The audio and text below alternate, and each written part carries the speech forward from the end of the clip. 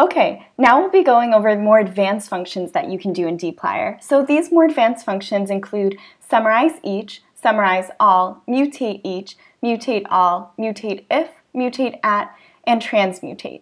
So a few examples are shown below. First, let's talk about summarize each. Now, summarize each allows you to summarize multiple variables at once. And note there is also a mutate each function.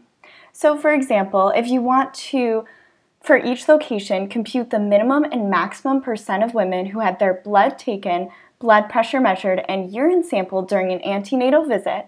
You can do this by, again, first specifying the data set that we'll be working with.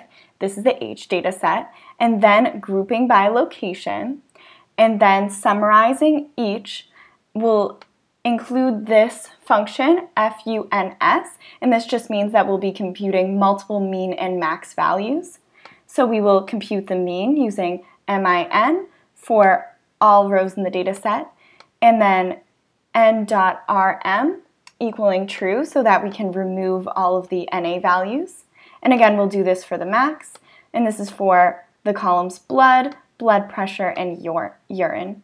So when we run this line of code, we see that the result is a tibble with dimensions 93 rows by seven columns, and we have for location, because again, we're grouping by location, we've computed the min and max values for each of the three variables that we're looking at.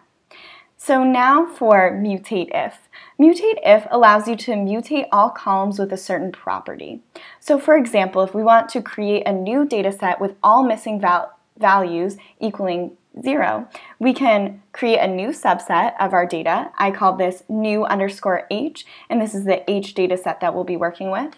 And then we use the function mutate underscore if. So this mutates if there is a value that is numeric. And again, we'll use FUNS because we're doing this multiple times. If else is dot .na for all values in, in the data in the data set, we'll be setting that to zero. And then we're printing 30 rows of that.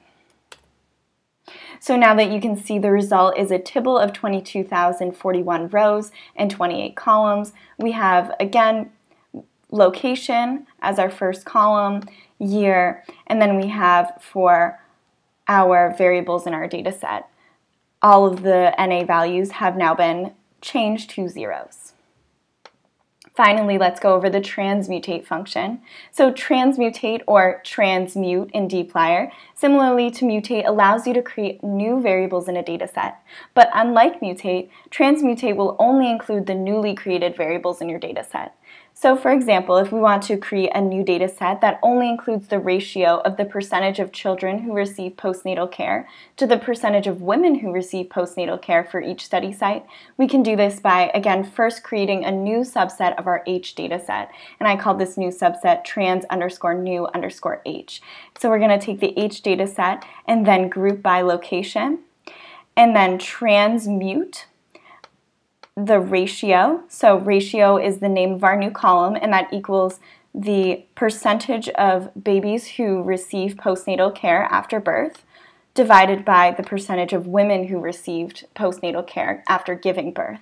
And then we'll print five rows of that. And we can see the result is a tibble of 22,041 rows and two columns.